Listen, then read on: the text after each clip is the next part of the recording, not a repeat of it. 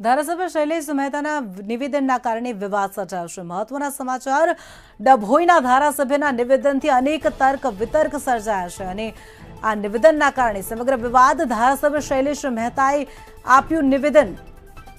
તો કરજણના પૂર્વ ધારાસભ્ય સતીશ પટેલ વિશે નિવેદન આપ્યું અને જેના કારણે વિવાદ સર્જાયો છે. હવે પૂર્વ ધારાસભ્ય બોલવું અઘરું લાગે છે તેવું શૈલેષ મહેતાએ જણાવ્યું. એકાદ બે મહિનામાં પૂર્વ કાઢી નાખીએ તેવું શૈલેષ મહેતાએ જણાવ્યું.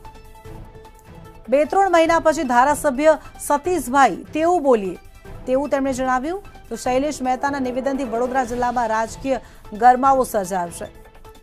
કરજણના પૂર્વ ધારાસભ્ય સતીશ પટેલ વિશે નિવેદન આપ્યું અને તેમણે જણાવ્યું કે પૂર્વ ધારાસભ્ય નહીં, પૂર્વ ધારાસભ્ય કહેવું થોડું અઘરું લાગે છે. હવે આ ધારાસભ્ય કહેવામાં આવે તેવું કંઈક કરવું જોઈએ એટલે તેમણે સીધી રીતે જણાવ્યું કે ચૂંટણીમાં તેમને જીત મળે અને તે ધારાસભ્ય બને. આ મુદ્દે ચર્ચા કરવા સંવાદદાતા અરુણ શાહ ન્યૂઝરૂમથી અમારી સાથે જોડાઈ ગયા છે. જે પ્રકારે આ નિવેદન આપ્યું છે કે પૂર્વ ધારાસભ્ય કહેવું અઘરું લાગે છે. હવે ધારાસભ્ય કહે તેવું પ્રજાને કહ્યું કે તેવું કંઈક કરો. આ વિશે શું છે વિગતો? જી, મહત્વપૂર્ણ છે કે વિધાનસભા બે હજાર બાવીસ ગુજરાત માટે દરેક રાજકીય પક્ષોએ તૈયારી કરી દીધી છે. સૌથી મહત્વપૂર્ણ છે કે હજુ સુધી ભારતીય જનતા પાર્ટી અને કોંગ્રેસ એ બેમાંથી કોઈપણ મુખ્ય રાજકીય પક્ષ કે જે મહત્ત્વના છે આ બે પૈકી કોઈપણ રાજકીય પક્ષો દ્વારા પોતાના ઉમેદવારની કોઈપણ પ્રકારની જાહેરાત હજી સુધી કરવામાં આવી નથી. ત્યારે સૌથી મહત્ત્વપૂર્ણ છે કે દરેક જિલ્લામાં વિધાનસભા બેઠકો પર જો અને તોના જે સમીકરણો રચાયા છે અને આ જો અને તોના સમીકરણોમાં પણ જે રીતે રાજકારણ, આંતરિક રાજકારણ ખેલાઈ રહ્યું છે તેની પ્રતિતિ થઈ છે વડોદરા જિલ્લામાં. જે રીતે શસ્ત્ર પૂજનનો કાર્યક્રમ વડોદરા જિલ્લાના ફતેપુરામાં યોજવામાં આવ્યો હતો. જે કહી શકાય કે એક રીતે શસ્ત્ર પૂજા અને રાજકારણ એ બેને કોઈપણ પ્રકારનો સંબંધ નથી. અને શસ્ત્ર પૂજા એટલે શસ્ત્રોની રક્ષા કરવામાં આવે, તેનો સદુપયોગ કરવામાં આવે, દુરુપયોગ શસ્ત્રોનો ન થાય, તે મુખ્ય સંદેશથી આ દશેરાના પર્વે આ પ્રકારના કાર્યક્રમો દરેક જગ્યાએ યોજવામાં આવે છે. અને તે જ મુજબ આ કાર્યક્રમ ફતેપુરામાં, વડોદરા જિલ્લાના ફતેપુરામાં યોજવામાં આવ્યો હતો. જ્યાં કહી શકાય કે ધારાસભ્યોની ઉપસ્થિતિ હતી.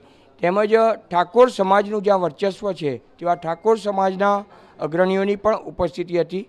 મહત્વપૂર્ણ રીતે આ કાર્યક્રમમાં જે પ્રવચન કરવામાં આવ્યું, તે ધાર્મિક કાર્યક્રમ હોવા છતાં પણ જે રીતે રાજકીય પ્રવચન બની ગયું, એવું ચોક્કસ રીતે કહી શકાય કે કારણ કે જે રીતે શૈલેષ સોટા કે જે ધારાસભ્ય ડભોઈના છે અને તેમણે કરજણના પૂર્વ ધારાસભ્ય એના સંદર્ભમાં જે નિવેદન કર્યું, તેના પરથી પ્રતીતિ થાય છે. એટલે કહી શકાય કે ચોક્કસ રીતે ભાજપનું જે આંતર રાજકીય, આંતરકીય, આંતરિક રાજકારણ એ બહાર આવ્યા વિના તેમના નિવેદન પરથી રહેતું નથી. કારણ કે તેમણે જે નિવેદન કર્યું એટલે શૈલેષ સોટા શૈલેષ મહેતા કહેવામાં આવે છે. તેનું લાડલું નામ જો કહીએ તો છોટા, શૈલેષ સોટા તરીકે તે ઓળખાય છે. તેમણે જે નિવેદન કર્યું એ એ પ્રકારનું કર્યું કે હાલમાં જે કરજણના પૂર્વ ધારાસભ્ય છે, સતીશભાઈ એ સતીશભાઈને હવે પૂર્વ શબ્દ કહેવો અઘરો લાગશે.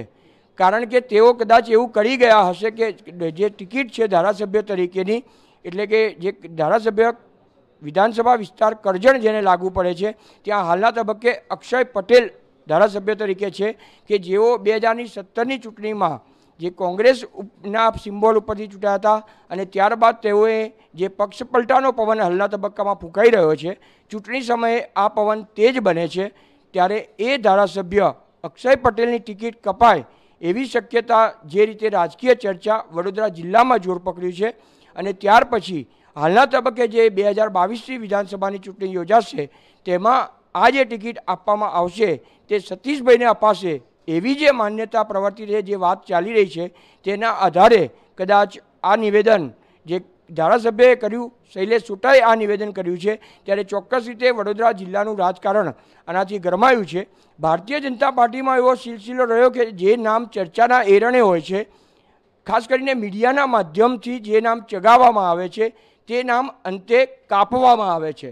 એટલે શું શૈલેષ સોઢા કે શૈલેષ મહેતાની રાજકીય નિવેદન કરવાની આ પદ્ધતિ એવી તો નહોતી ને કે તેમણે જે કરજણના ધારાસભ્ય, પૂર્વ ધારાસભ્ય હતા, તેમને ધારાસભ્ય બનાવવા માટેનો શોખ વ્યક્ત કર્યો છે અને એ નિવેદન આ જે શસ્ત્ર પૂજાના ધાર્મિક કાર્યક્રમમાં કરવામાં આવ્યું છે. તેના પાછળનું કારણ કયું હોઈ શકે? તેનો જવાબ માત્ર ને માત્ર શૈલેષ ચોટ્ટા એટલે કે શૈલેષ મહેતા જે ધારાસભ્ય છે, પૂર્વ ધારાસભ્ય, તે જ આપી શકે. પરંતુ વાસ્તવિકતા શું હશે એ જ્યારે ઉમેદવારોના નામ જાહેર થશે, કારણ કે સૌથી મહત્ત્વનું એ છે કે અત્યાર સુધીમાં એકમાત્ર આમ આદમી પાર્ટી કે જે ત્રીજા રાજકીય પક્ષ તરીકે અત્યારે બંને મુખ્ય રાજકીય પક્ષોને હંભાવી રહી છે, તેઓ પોતાના ઉમેદવારના નામ પણ હજી સુધી જાહેર કરી શક્યા નથી. અને તે સંજોગોમાં આ રીતે વડોદરા જિલ્લાના રાજકારણમાં એક રીતે જોઈએ તો સમગ્ર ગુજરાતમાં પણ વડોદરા જિલ્લાનું જો રાજકારણ જોઈએ અને તેમાં પણ ભારતીય જનતા પાર્ટીનું રાજકારણ ચોક્કસ રીતે વિવાદના કેન્દ્ર સ્થાને રહ્યું છે અને તેમાં આ જે નિવેદન કરવામાં આવ્યું છે કરજણના ધારા, પૂર્વ ધારાસભ્ય સંદર્ભમાં, ત્યારે આ નિવેદન હવે કોને ફરશે તે જોવાનું રહેશે. ઉમેદવાર તરીકે કરજણમાં કોણ આવશે તે પણ જોવાનું રહેશે. પરંતુ તેમના આ નિવેદનથી એક વાત ચોક્કસ બની છે કે અક્ષય પટેલ હાલના તબક્કે આ નિવેદનથી ચિંતામાં મુકાઈ ગયા છે, કારણ કે તેમણે પોતે પક્ષપલટો કરીને ભારતીય જનતા પાર્ટીમાં ખેસ પહેર્યો છે, ત્યારે તેમને જે રીતે અત્યારના તબક્કે ધારાસભ્ય છે, હવે તેમની આગળ પૂર્વ લાગશે એ પણ એટલું સત્ય છે અને તે હાલના તબક્કે જે નિવેદન થયું છે તેના પરથી લાગી રહ્યું છે. વાસ્તવિકતા શું હશે? ભારતીય જનતા પાર્ટીના ઉમેદવારોના નામની યાદી જાહેર થશે, ત્યારે તે સમગ્ર વાસ્તવિકતા છતી થશે. જી, માહિતી બદલ આપનો આભાર. તો જે પ્રકારના સમાચાર મળી રહ્યા છે, ધારાસભ્ય શૈલેષ મહેતાએ નિવેદન આપ્યું.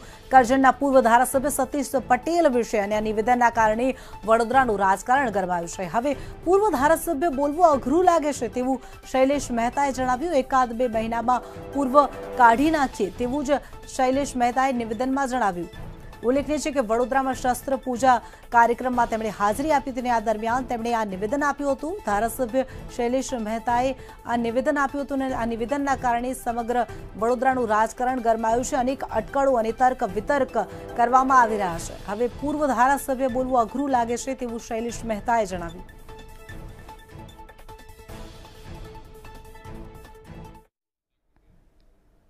હાલ સમાચારોમાં બસ આટલું જ. વધુ સમાચારો માટે જોતા રહો. મંતવ્ય ન્યૂઝ નમસ્કાર